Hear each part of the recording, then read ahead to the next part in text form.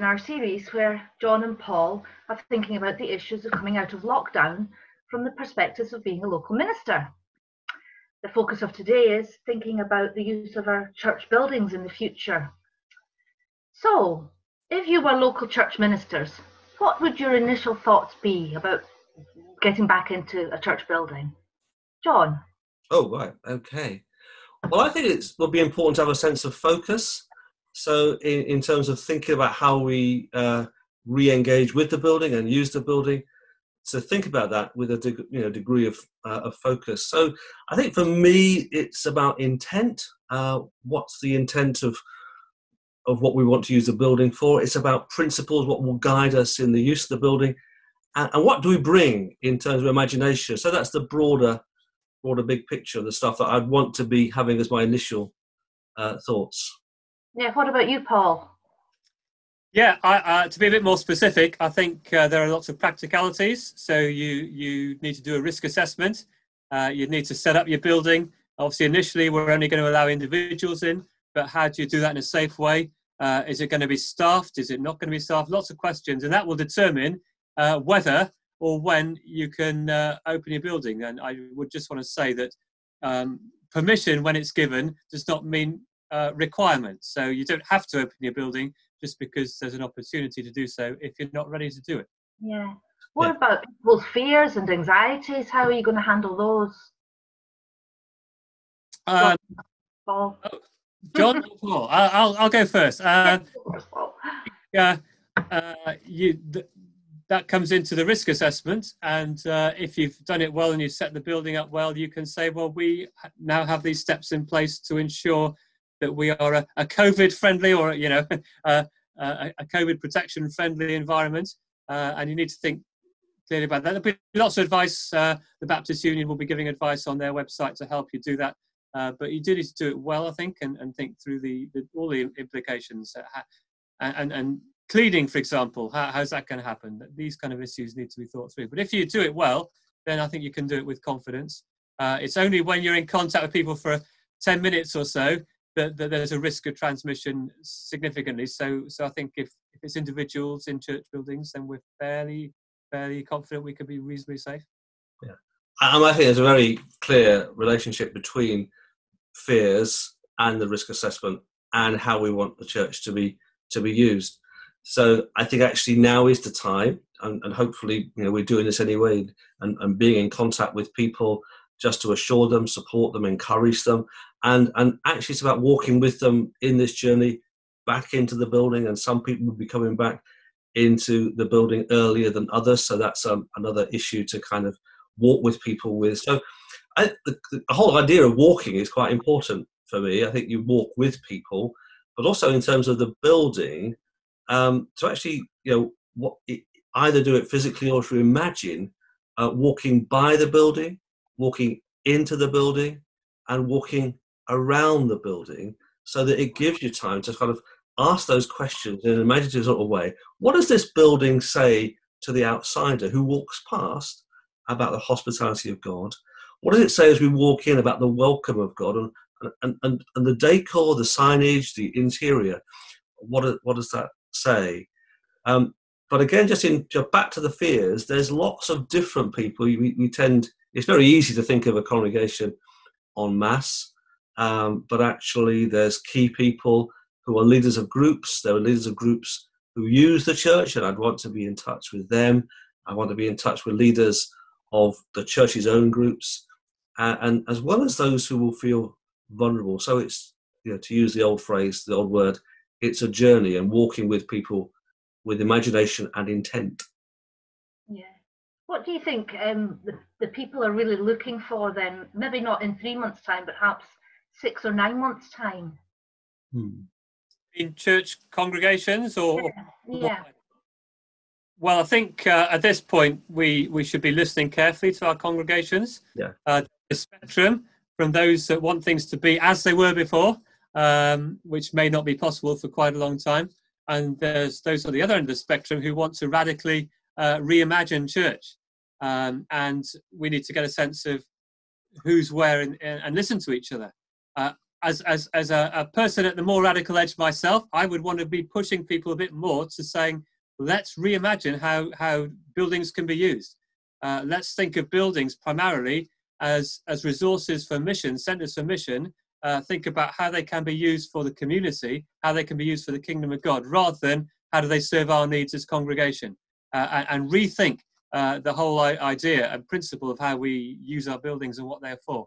I think that should go into the mix and we should be talking about that and, and asking those kind of questions right now before we make decisions about how we're going to use them.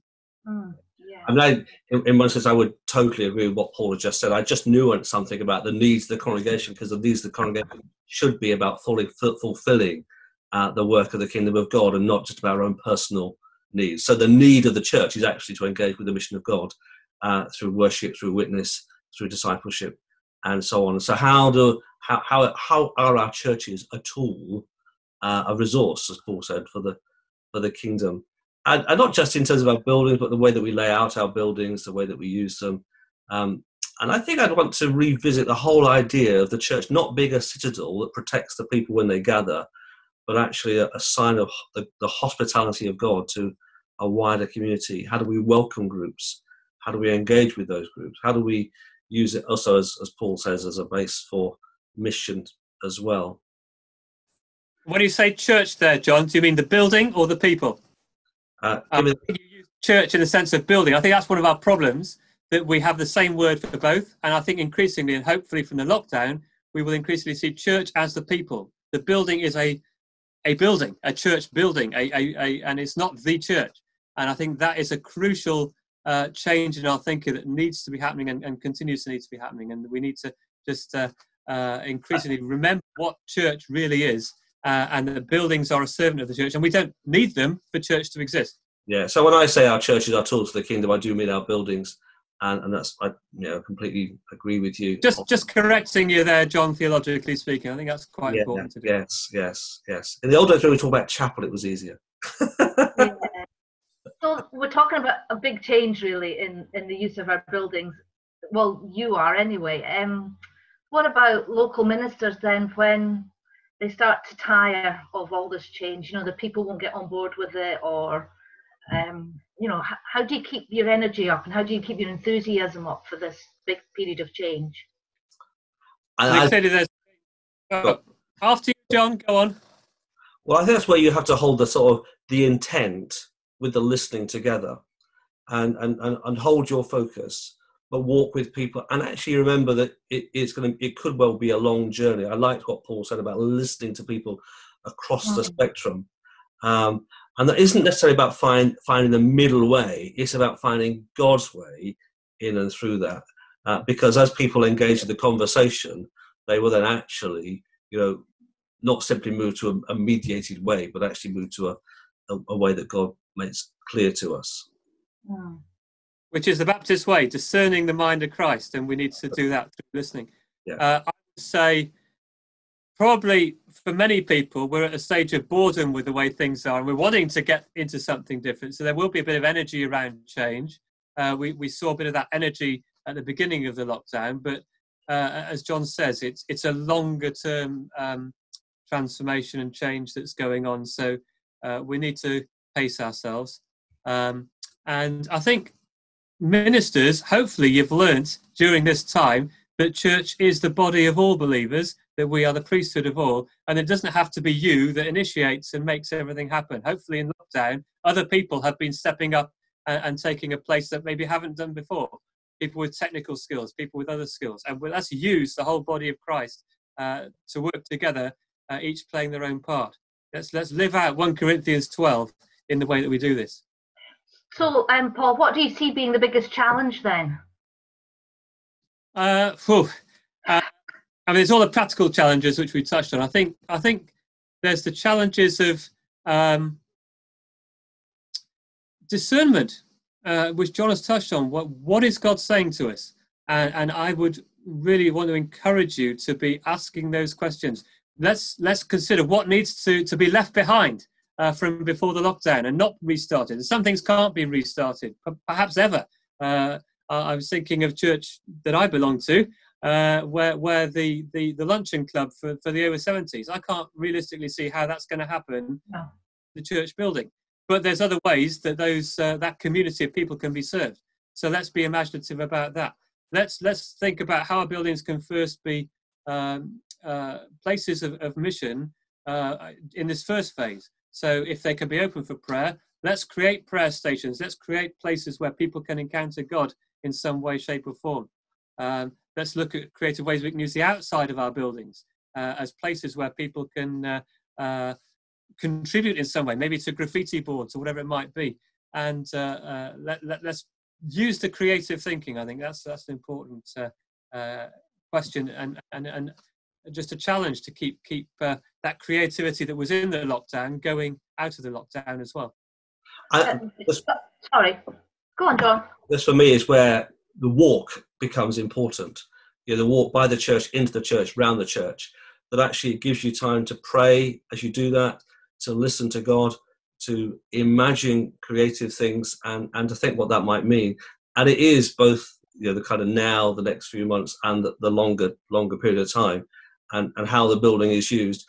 And although whenever we get to be using the building more corporately, it will be different. There'll be the hygiene issue. There'll be there'll still be almost certainly be social distancing issues. So we won't have such larger uh, congregations. Will be smaller. Um, that is all. That that restriction is also an opportunity to think and experiment differently. So I, I you know, I think there is obviously a security in going back to the routines that we know that, and, and that happens in the whole realm of society. Um, but there's not opportunity for experiment. Uh, that actually, in the way that we do our worship, instead of sitting in rows, we might do differently.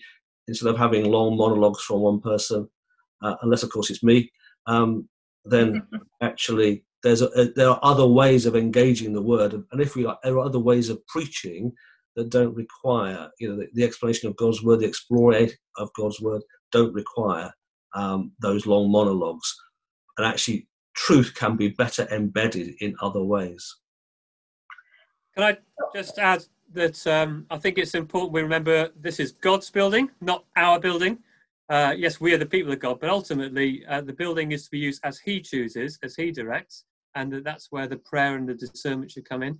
And I would want to encourage you to uh, not just listen to your congregation, but listen to your community, uh, the council, talk to, to those in, in community groups, because maybe the building can be used in new ways for the wider community as appropriately uh, with all the restrictions. And, and, maybe there's an opportunity for um, the building to come uh, to have a, a, new lease of life uh, for, for more people than you had beforehand. Uh, but let's listen and let's see where God is opening doors at this time for needs that maybe are there coming out of the lockdown.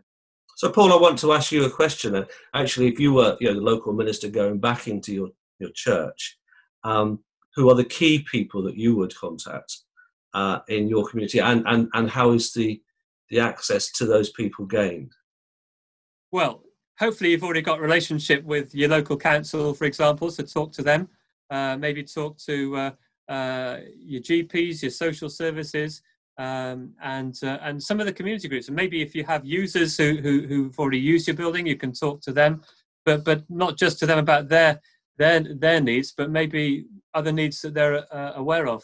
Uh, hopefully, we we already have those relationships, so we don't need to make them, but we can make them fairly easily. And I think there's a lot of goodwill uh, in in the community towards the church at the moment, amongst councils certainly. Politicians tend to be pretty positive towards the church at the moment, so let's build on that goodwill uh, and offer um, our, our, buildings for the sake of the whole community, not just for the needs of, of the church congregation. So, as we try and bring this to a close after our 15 minutes, um, it's next summer, and um, in a couple of words, what would you like people to be saying about your church building? People from inside the church and outside the church. A couple of words. John. Can I make it three words? It's accessible. Oh, okay, go on then. it's accessible, it's en- engaging, and it's releasing. Paul. And I would just want to come back to that principle that it, it is a, a, resource for mission uh, and not a, uh, uh, something that we own and, and, and keep a strong hold and control of. Great, thank you very much. And thank you everyone for watching. Um, I know this time we've been focusing on church buildings very briefly, but we will do some more in this series and we'll focus on other aspects of church life as we emerge out of lockdown. Thank you very much.